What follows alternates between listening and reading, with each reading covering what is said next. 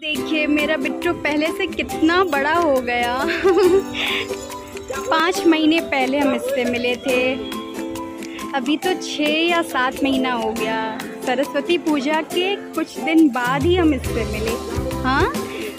और दो तीन दिन में, और दो तीन दिन में इसने मुझे अपना लिया। हम नहीं समझ पाए।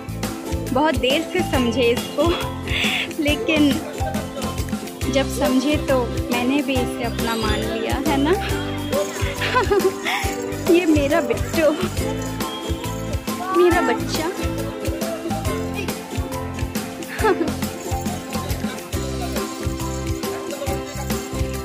पहले थोड़ा छोटा था, अब थोड़ा बड़ा हो गया है और इसको तो अभी और बड़ा होना है, और जीना है, अंतिम तक जीना है है ना, बेटा?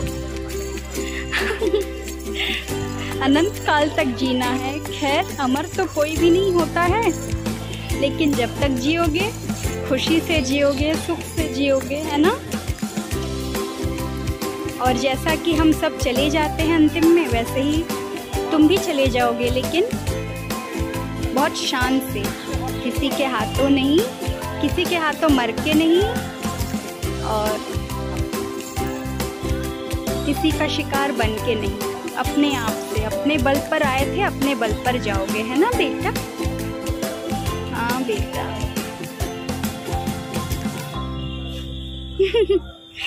मेरा मासूम बिट्टू।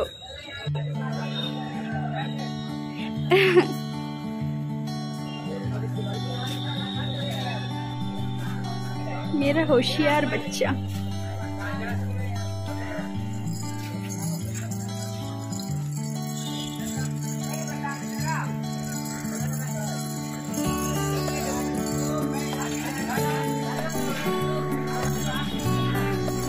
ये